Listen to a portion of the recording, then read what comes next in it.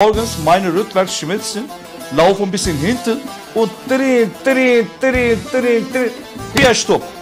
Ee, Selamlar ben Neco Demir. Destan Neco grubumun baş harfini taşıyorum. Hikayeye başlamadan önce 1996'da İstanbul'dan e, Almanya'ya gelirken tabii bir takım hikayeler, hikayeleri de beraberimize getirdik ama bir sürü başımıza hikayeler geçti. Özellikle düğün ortamında yaşadığımız hikayeleri anlatmakla bitmez. Basıl'da düğün çalıyoruz. Erzincan Tunceli düğünü. Tabii o dönem düğünler 700-800 kişi. Özellikle bu yörenin düğünleri. Sevgili Hüseyin de bilir. Grup Öksüzler Hüseyin. Selam gönderiyorum kardeşime. Burada oturuyor. Evet. o düğünlerde kalabalık olur ki ya düğünlerde şimdi damadın babası düğünde damadın babası geliyor gidiyor sahneye 100 mark atıyor. O dönem marklar mark vardı. 100 mark atıyor. Bana bir Erzincan düz. Hayda Erzincan düzü çalıyoruz. 100 markı görmüşüz ya. Erzincan düzü çaldıktan sonra halaylara geçiyoruz. Bir baktık dayı tekrar geldi. Sahneye bir 100 mark daha attı. Programı kesin. Bir Erzincan düz daha çalın. Neyse. Dayı kırmadık. Sonuçta damadın babası. Bir Erzincan düz daha çaldık. Ondan sonra bittikten sonra orta oyunlarına geçtik. Ankara çalıyoruz, misket çalıyoruz, Fidayda falan. Bize her yol Paris değil La bize her yer Ankara Baktık dayı karşıdan geliyor. Bunun niyeti bozuk dedik. Yine Erzincan düz isterse Bırakın gelsin. Bırakın gelsin. Gel hele gel gel. Gel hele gel. kesmeyin kardeşler dedim. Yani devam edin programa. Düğünün sonunda bir daha çalacağız dersiniz. Deriz. Bitiririz olayı. Dayı geldi. Aynen dediğimiz gibi ya 100 Mart'ta attı sahneye. Bir Erzincan düz daha çalın. Ondan sonra biz de eğildik dayıya dedi ki dayı bak düğünü kamufle ediyorsun. Bak mahvoluyor. İnsanlar oynuyor. Bak şu program bitsin söz sana bir Erzincan düz daha çalacağız. Dayı tuttu sahneye cüzdanı attı. Çalın lan got verenler dedi. Göt veren. Ne auch nicht. Göt veren. Allah Allah. Şaşırdık kaldık. Çalın lan got verenler dedi. Allah Allah. Şaşırdık kaldık. Kaderimin bir oyunu mu bu? Şaka değil bu. Bazen düğünlerde böyle içip içip ağzını bozan insanlar var. Yaşlısı da var. Genci de var. Böyle bir hikayeyle karşılaştık. Ne yaptınız? Ondan sonra damadı çağırdık. Damadı çağırdık dedi ki bak babanız bize hakaret etti. Tamam 100 mark attı. Çok sevindik. Güzel bir olay. Ama 300 markın karşılığında bize got veren dedi. yani Ayıp değil mi lan? Biz bunu kabul etmiyoruz. Lütfen babanızı alın ve bir daha sahneye göndermeyin ki sağlıklı bir şekilde program yürüsün. Bu da düğünlerde yaşadığımız bir hikayeydi.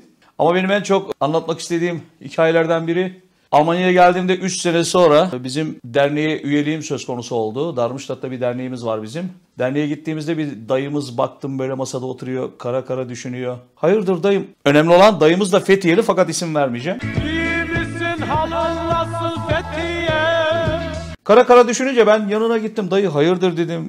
neyin var neyin yok falan. Ya dedi yeğen dedi ben hastayım dedi. Doktora gideceğim dedi ama haliyle biraz Almancam da zayıf. Bana bir dormeçe lazım. Gelip benim anlattığım hastalığı doktora anlatacak birini arıyorum. Guten Tag, Kommandant. Guten Tag, Türko. Passport. Das ist meine Passport. Orada ben düşündüm ya gelmişim 3-4 sene benim Almancam da o kadar sağlam değil. Ama dedim dayım bir cesaret geldi bana. Hadi gidelim ya işin görülsün. Neyse dayıyla doktora gittik. Başladı bizim dayımız doktora derdini anlatmaya. Şimdi şöyle başlıyor. Yani sabahın seherinde şimdi doktora anlatıma bak. Sabahın seherinde diyor şurama bir ağrı giriyor. Ağrı yürüyor yürüyor aşağı kadar iniyor. Ondan sonra dönüyor, dönüyor, dönüyor. Kalbimin altına saplanıyor böyle. Bir de elini böyle vurmuş biliyor musun? Vuruyor böyle. Arkadaş dedim ben şimdi bunu Almanca'ya çevireceğim. şimdi normal anlatırsın fakat sabahın seheri Almanca nasıl deniyor? Birçoğumuz da bilemeyiz herhalde. ya, Çeviremeyiz. Neyse ben artık e, o yalın Almanca ile bildiğim kadarıyla e, Morgens meine rückwärts schmelzen. Morgens meine rückwärts schmelzen. Lauf ein bisschen hinten und drehen, drehen, drehen, drehen, drehen. Hier stopp. Was ist das? Das ist Korpus. Lauf ein bisschen hinten und drehen, drehen, drehen, drehen, drehen. Hier. Doktor gülmeye başladı. Enteresandır. Dayıya tekrar gelmesini tavsiye etti. Siz doktora tekrar gelin. Sizde herhangi bir sorun yok. Mesele psikolojik de olabilir. Sabahın seyri falan şu arkadaş. Nitekim doktora biraz mahcup olduk çıktık yani. Hikaye böyle bir sonlanmış oldu. Şimdi düşündüğü yalanı yalanla çürütme diye bir hikaye var. O da bizim e, köyde yaşanmış bir hikaye. İnsanlar böyle hikayeleri severler biliyor musun? Böyle yaşanmış köy hikayelerini, sosyal hikayeler. E, şimdi bizim köyde e, Timur Hoca diye bir e, insan var. Yaklaşık 60-70 yaşında ama herkes onun sözünü dinler. Sizin köyü de köyü de bilelim. He? Köyü de bilelim.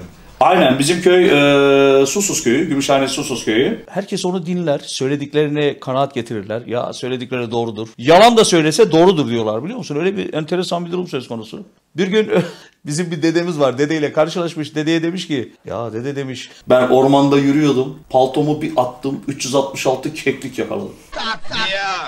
Çakıyla aslan mı öldürdün? Öldürdüm, öldürdüm abi ya.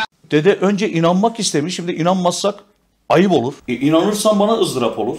Böyle bir hikaye olur mu ya? Neyse dede demiş. Ya demiş bir hikaye de ben sana anlatacağım demiş. Başlamış dedemiz Timur Hoca'ya anlatmaya. Ya demiş ben İstanbul'da inşaatta çalışıyordum 9. katta. Keser elimden bir düştü. Aşağı indim ki keser hala geliyor.